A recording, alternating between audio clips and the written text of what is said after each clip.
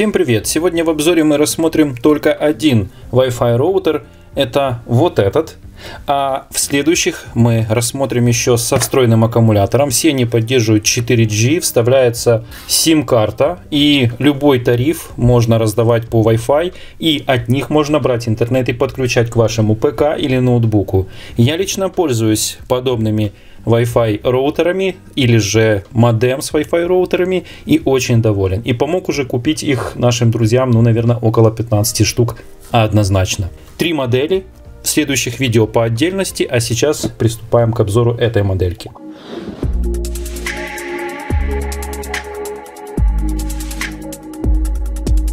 Упаковка самая большая, как вы видели. Здесь указано его как внешний вид, так и что можно производить. Ну, естественно, подключать все гаджеты. У него есть две антенны, одна принимает сигнал, вторая раздает Wi-Fi. Разноцветный дисплей информационный, есть защита и раздача по кабелю. И да, дорогой зритель, не забудь подписаться на телеграм-канал, публикую, какие гаджеты получаю, а также не вошедший материал, который не выходит на этом канале. Но зато публикую его в телеграм-канале Заградчики обзоры. Ссылка есть в описании под видео. Давайте посмотрим его. Я уже такой заказывал, но до обзора не дошло, так как начались война в Украине. И сразу же спрос возник у многих друзей, помоги как-то подключаться без сети никак.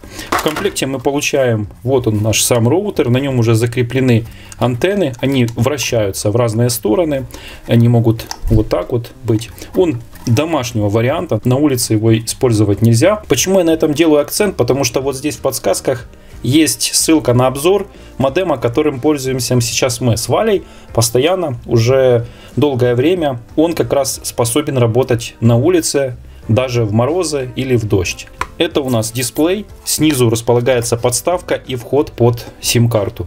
Сим-карта устанавливается средняя, не нано, не большая, а средняя. И здесь указано, как ее установить с помощью вот этого значка. У нас сейчас нет света, поэтому немножко другое освещение, освещение от камеры, боковое в студии. Но снимаем, так как такое время. Вот этот основной выход на ваш компьютер или ноутбук или на другой роутер. Кабель в комплекте идет, чтобы подключить. Ниже располагается еще одно гнездо для того, чтобы от USB или от Powerbank запитать или же, возможно, прошить. Чуть ниже располагается кнопка сброса с надписью Reset. Это вход под блок питания, он идет в комплекте. Здесь есть отметка на сколько, 12 вольт 1 ампер. И он же может использоваться этот Wi-Fi роутер, чтобы от Powerbank работал от полноценного, так как от этого я не рекомендую использовать. По полной мощности раздача Wi-Fi или же прием GSM сигнала идет через полноценный 12 вольт 1 ампер. Именно так мы сегодня и будем его запускать и тестировать, так как сейчас в данный момент реально нет света. Вот такой вот кабель покупается отдельно. Стоит он примерно около доллара. У него здесь огромный бочонок, на нем есть надпись Выход дается на 12 вольт, но от обычного пауэрбэнка, от любого пауэрбэнка мы получаем 12 вольт. Давайте сейчас установим сим-карту и включим его. Кстати, в комплекте еще идет скрепка для извлечения сим-карты. Это у меня сим-карта Life. Здесь 50 гигабайт интернета и работает на всех модемах. Без разницы, это телефон или же, как у меня, 4G модем с Wi-Fi роутером. Кстати, как раз чтобы вставить, надо использовать скрепку, но я использую подручные средства. Когда она вставлена, она не торчит, находится снизу. И теперь можно запитать. Но вначале давайте заглянем в инструкцию. Инструкция детальная, с картинками, как можно настраивать, что где отображается, имя сети, Wi-Fi пароль и так далее. Также есть, как исправить ошибки и что означает вот эти надписи. EFDU, GSM, HSPA+, или 4 LTE. Ну, 4 LTE вы, кажется, уже знаете, что это означает. Давайте будем сейчас вместе с вами настраивать.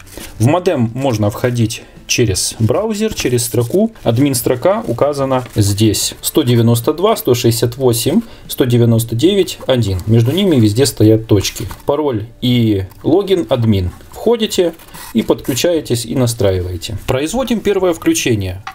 Смотрится он стильно на столе, когда вы установили, он даже будет украшать ваш стол, не какой-то кусочек непонятно чего, а вот так вот он будет работать. Чтобы он засветился, необходимо включить кнопку. То есть он уже запитался, питание на него пошло. Теперь нажимаем включение. О, как раз и свет включили. Об этом свидетельствует вот эта полоса. Ну раз запустился свет, то давайте полноценный запустим от его родного блока питания. Включаем. И здесь у нас сверху есть еще кнопка включения или выключения. И она же активирует включение экрана и его выключение. То есть просто по нажатию, дальше покажу, как это работает. Была анимация, как вы видели. Сверху на стекле Думаю, это пластик, наклеена защитная пленка. Надпись Welcome и первое включение. На дисплее разными разноцветными цветами помечен каждый раздел. И только что произошло первое подключение. Вы сейчас видите на дисплее, что смог получить настройки 4G, полная антенна Пока я с вами разговаривал, это заняло где-то около двух минут, чтобы он все это сам настроил. И сколько потрачено мегабайт. Переключаться можно по этой информации, по нажатию кнопки. Видите? И здесь имя сети, пароль, ну и еще какая-то информация. Видимо, версия прошивки. Двойное нажатие и дисплей тухнет.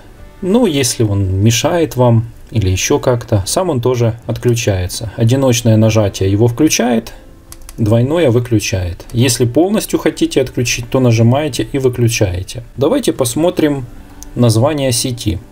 Обратите на это внимание, последнее 1908. Берем мой смартфон Poco X3, открываем Wi-Fi настройки, включаем и находим этот Wi-Fi. Запомнили, да? 1908. Вот он, Подключаемся к нему. Пароль, как всегда, сложный. 1, 2, 3, 4, 5, 6, 7, 8, 9, 0. Проверяем. Верно. Подключаемся к нему. И будем сейчас тестировать скорость. Отключаю VPN. Смотрим, какая скорость на данный момент 4G. И здесь одновременно будем еще поглядывать на дисплей. Э, скорости не удивляйтесь, потому что у нас 4G сейчас во время войны плюс отключение света никакая. Но я нашел лайфхак.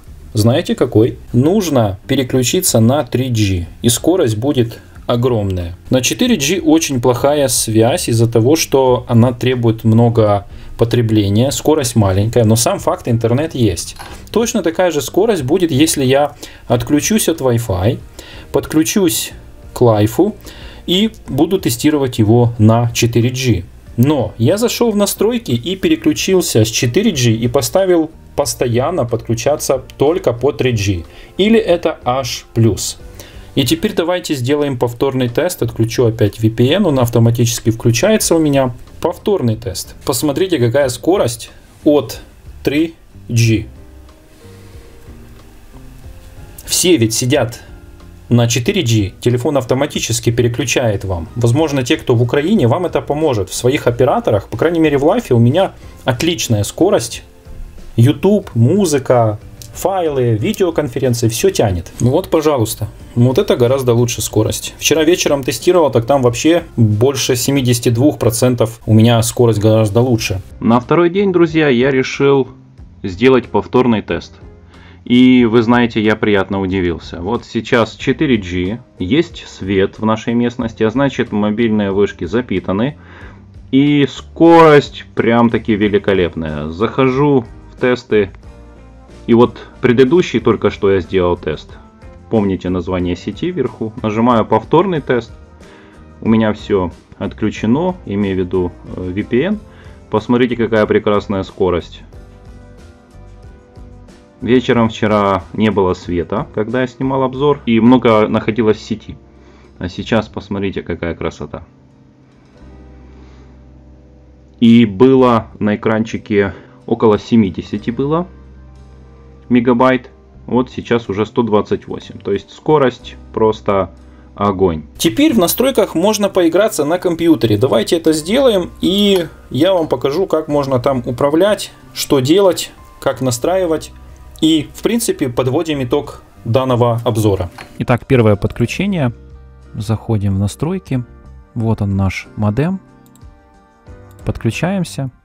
Вводим тот же ключ безопасности. Подключение.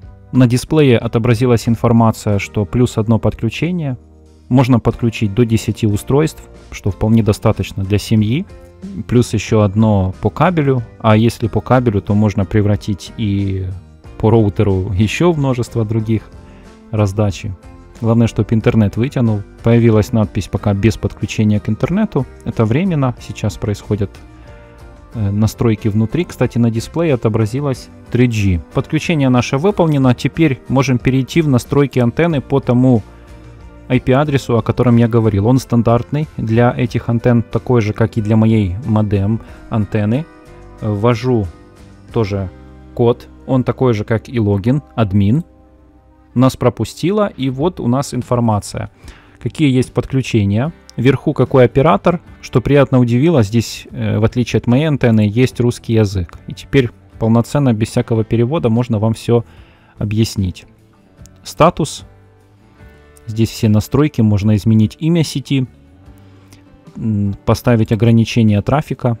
Настройка даты обнуления и так далее. Есть возможность скачать драйвер – Возможно, это вам поможет настроить на модеме или для каких-то прошивок. Здесь читаем статус SMS, а также телефонная книга с номерами. Немного ниже есть полные настройки. Режим подключения по сети. Установите этот флажок, чтобы подключиться к сети в режиме роуминга. У меня так и стоит и работает хорошо. Кстати, переключается тоже в режим роуминга на другой оператор, то есть SIM-карта стоит live, а подключается, например, Kyivstar или Vodafone. Выбор сети.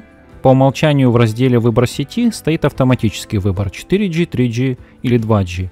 Можно установить вручную.